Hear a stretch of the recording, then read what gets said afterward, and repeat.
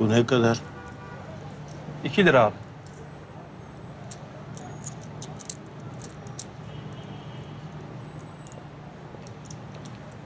Neyse o kalsın da. Ben bir telefon açayım.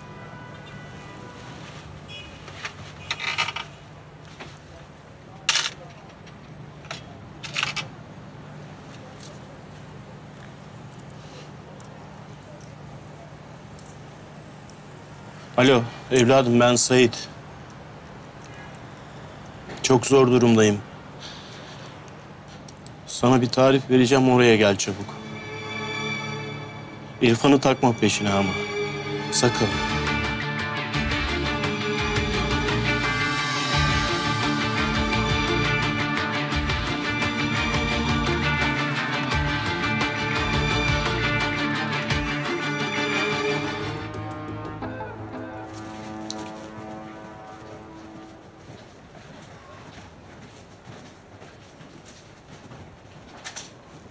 Hasan, şişt, Hasan buraya, buraya. Buraya gel. Niye? Gel.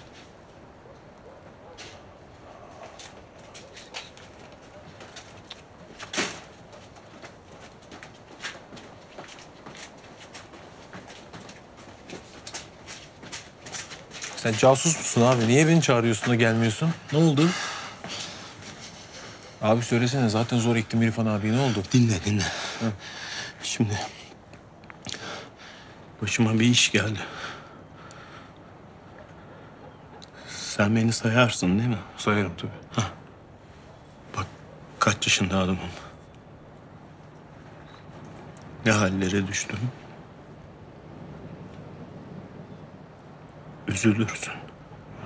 Üzülürüm tabii abi. Niye üzülmeyeyim?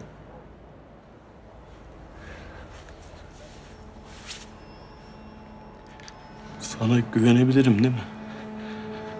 Korusun beni başkalarına karşı. Abi sen e, kime ne yaptın yine? Nisan'a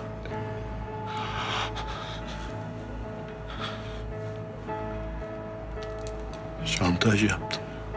Ne diyorsun ya? Ecevit öğrendi, perişan etti beni. Şimdi gurur da duyacak. Hepsi peşime düşecekler. Ne yaptın ya? Sen yapacaksın sen. Güvendim anlattım sana.